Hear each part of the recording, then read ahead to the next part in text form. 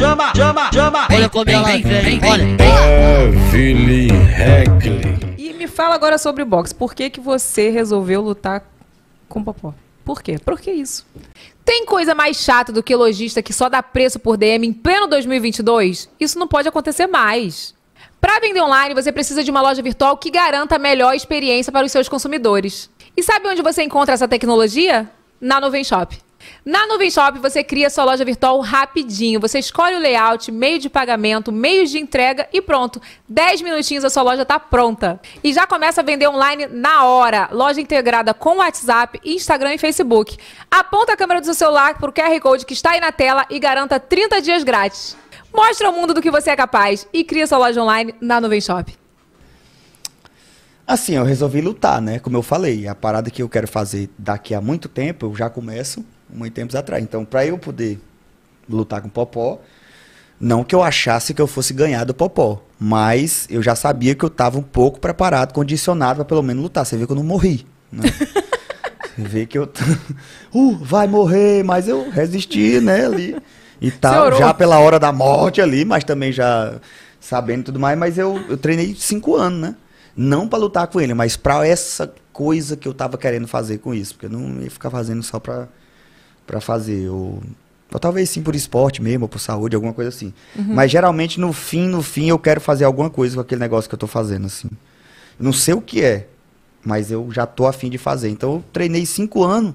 E aí o fim disso, a finalidade, chegou como se fosse uma parada simples, porque eu preciso de um sentido uma parada para fazer. E aí o Popó tava nessa aí, tava mais na dele ali, todo, eu falava com ele toda hora, porque o fã dele, ele, campeão, uma força aí na rede social, o que, que você acha que dá pra gente fazer? Eu disse, cara, vamos, vamos pensar junto, vamos pensar.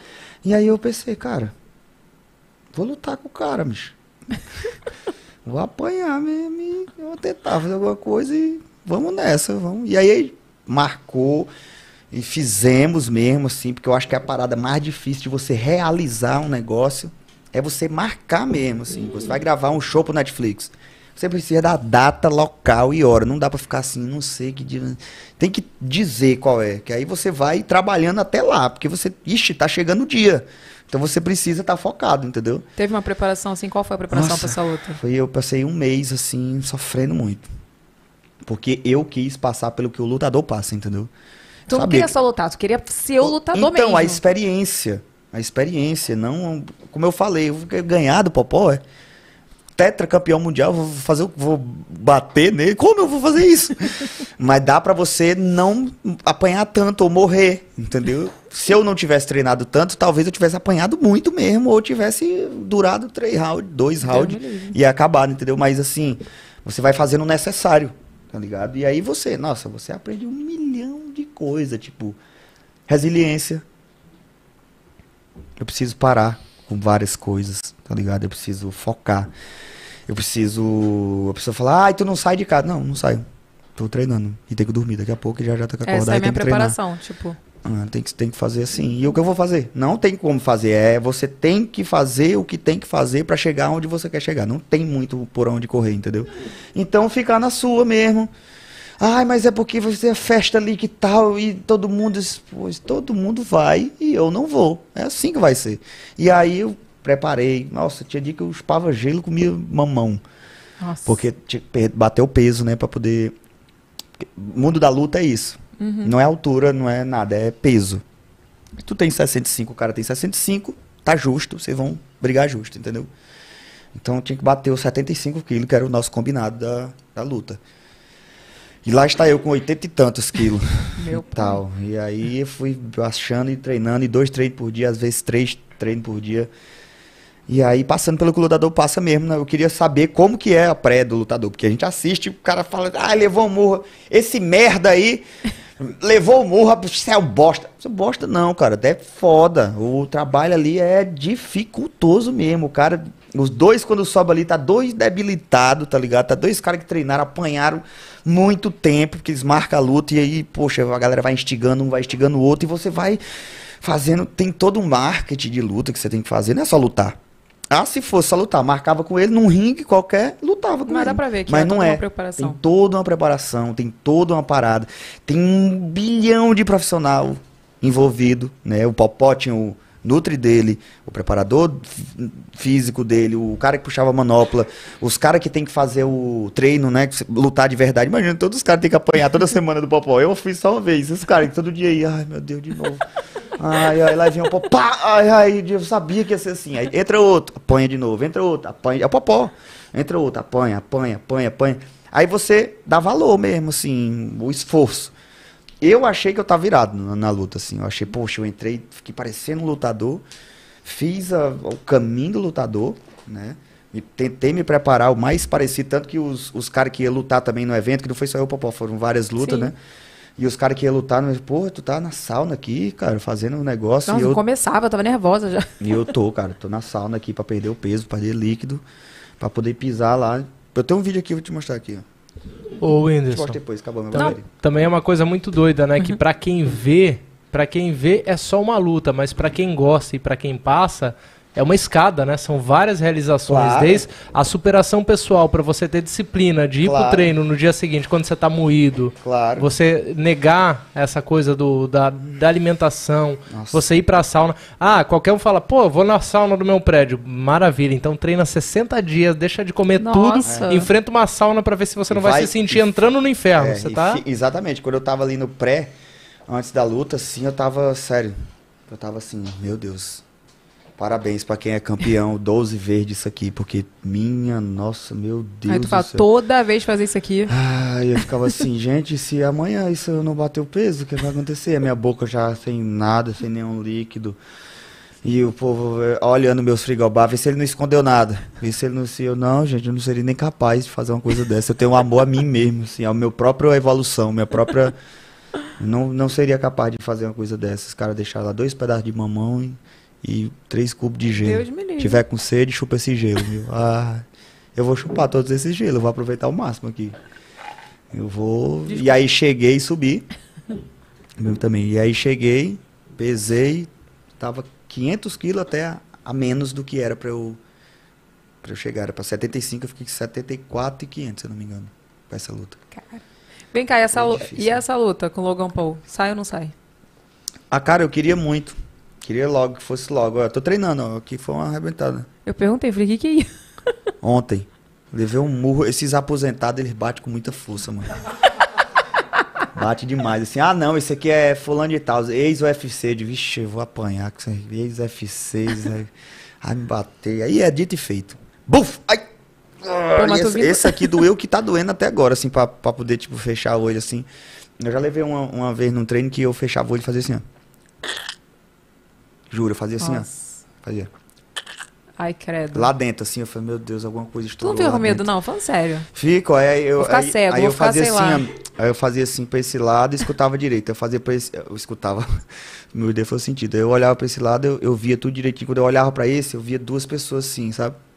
Isso, uma gente? pessoa, a imagem distorcendo, saindo da outra assim, eu disse, meu Deus, deslocou minha retina, vou ficar com problema pro, lado de cá. Vou chegar tudo pro lado de cá, pro lado de cá, vou esbarrar nas coisas. Uma pergunta idiota, não faz mal não, gente? A pessoa não fica meio Ah, doida? fazer mal tudo faz, né? Faz. Mas assim. Qual- Só- não fica doido não, esse povo? Não, Quem- assim, já, apanha já, muito? não, já, já tem, já é comprovado a questão das contusões ao longo do tempo. É? Mas é que a, a questão é que Você vai ficando meio assim. Você vê que eu, às vezes, eu não bato direito, eu dou uma travada.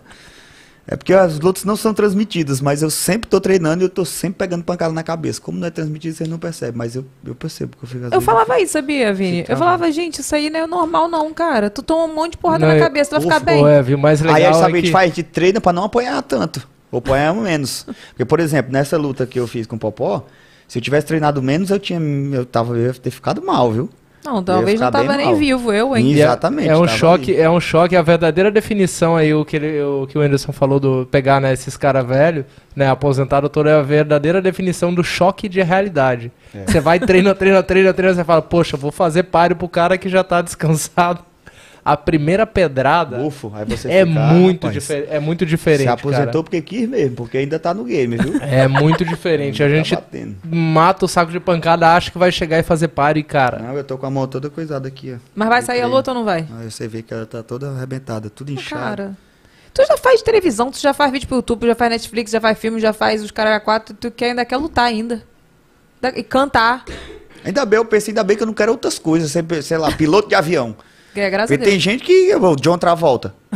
É piloto de avião que tem uma pista em casa, chega em casa e para com o avião, vamos almoçar. Não, vai pra- gente, vai pra não, casa. não, não. Olha aqui, quando ser famoso atrapalha? Todos os...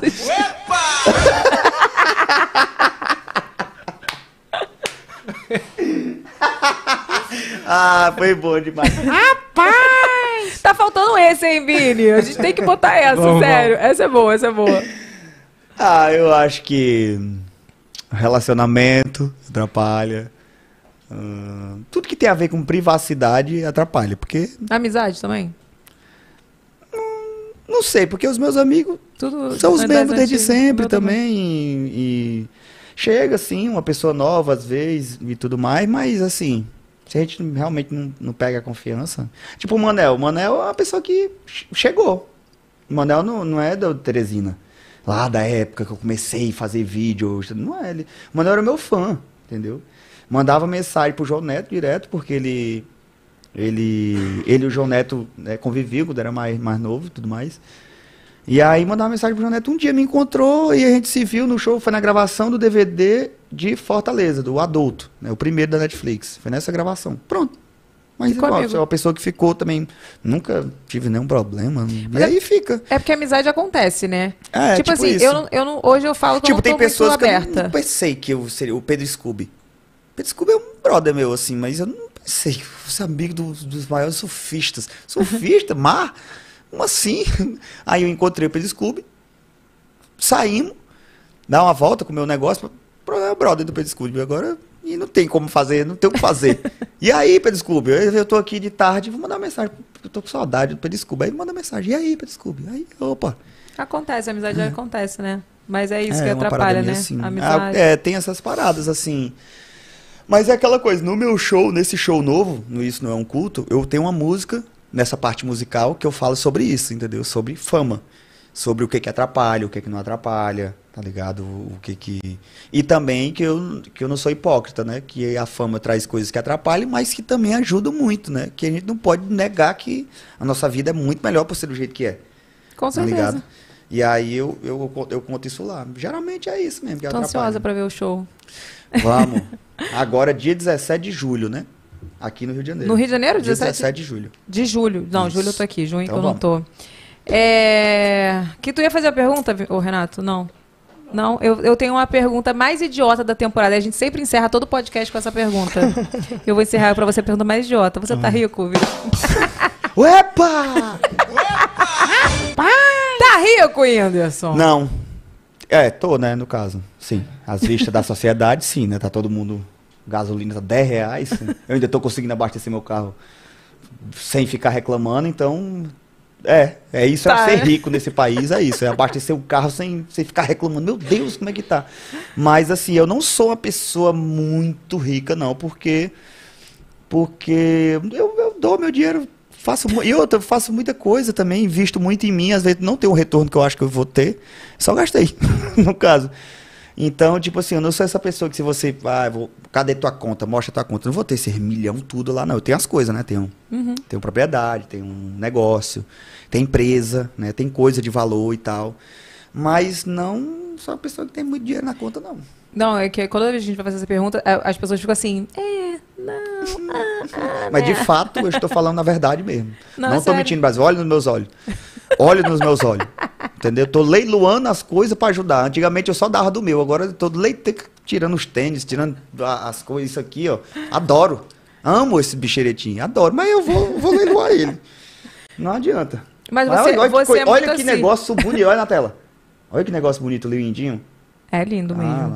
Caraca, Mas vai pra uma boa causa, Vai, eu vou, viu? eu vou mandar fazer outro. Cheguei!